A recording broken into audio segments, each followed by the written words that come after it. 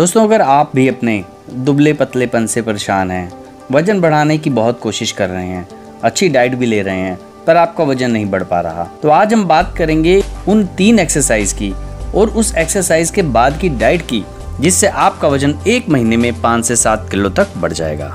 देखिए, अगर आपने अपना वज़न बढ़ाना है तो आपको कुछ तो एक्सरसाइज करनी ही पड़ेगी। तो इसीलिए हम सिर्फ़ तीन एक्सरसाइज की बात करेंगे, जिससे कि वज़न बहुत तेज़ी से बढ़ता है। और उस एक्सरसाइज के बाद, उस वर्कआउट के बाद आपको क्या खाना है कि जिससे आपका वज़न और तेज़ी से बढ़ेगा? तो चलिए बात करते हैं सबसे पहले उन एक्सरसाइज की और उसके बाद करेंगे कि एक्सरसाइज के बाद में आपने क्या खाना है। एक्सरसाइज नंबर वन पुशअप वज़न बढ़ाने के लिए पुशअप बहुत ही अच्छी एक्सरसाइज है।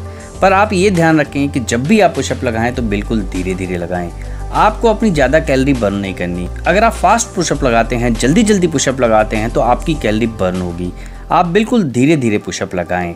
आपको पुशअप के तीन सेट लगाने हैं हर सेट में 15 से 20 सेट निकालने हैं और हर सेट के बीच में एक से डेढ़ मिनट का रेस्ट ले सकते हैं। फिर इसके बाद हम करेंगे दूसरी एक्सरसाइज जो है पुलअप पुलअप करने के लिए आप घर में कोई रोड लगा सकते हो, आप पार्क भी जा सकते हो। पुलअप एक बहुत अच्छी एक्सरसाइज है। देखिए बॉडी वेट एक्सरसाइज जितनी भी होती हैं, वो सारी के सारी बहुत अच्छी होती हैं। आपको पुलअप के भी तीन से चार सेट लगाने हैं, हर सेट में दस से पंद्रह रप लगा सकते हैं और हर सेट के बाद डेढ़ मिनट का रेस्ट ले सकते हैं। देखिए, आपको कुल पच्चीस से तीस पुलअप लगानी है। अगर आपसे नहीं लगती, आप एक लगाइए, दो लगाइए, चार लगाइए, फिर वहीं पे खड़े होकर तीस सेकंड का रेस्ट लीजिए, फिर दो तीन लगाइए, फिर तीस सेकंड का रेस्ट लीजिए। इसी तरह कुल आपको 25 से 30 पुलअप लगानी है। और फिर हमारी तीसरी एक्सरसाइज होगी स्क्वाट्स स्क्वाट्स भी एक बहुत अच्छी एक्सरसाइज है वज़न बढ़ाने के लिए। ये सिर्फ़ लेग्स के लिए नहीं, पूरी बॉडी के लिए अच्छी है। इसके भी आपको तीन से चार सेट लगाने हैं और इसके भी हर सेट में पंद्रह से बीस सेट तक लगा सकते हैं और इसके भी हर सेट के बीच में एक से डेढ़ मिनट का रेस्ट लें। तो फ्रेंड्स ये वो तीन एक्सरसाइजें हैं जो आपको रोज़ करनी है। वो इन एक्सरसाइज को आप 20 से 25 मिनट में फिनिश कर लें।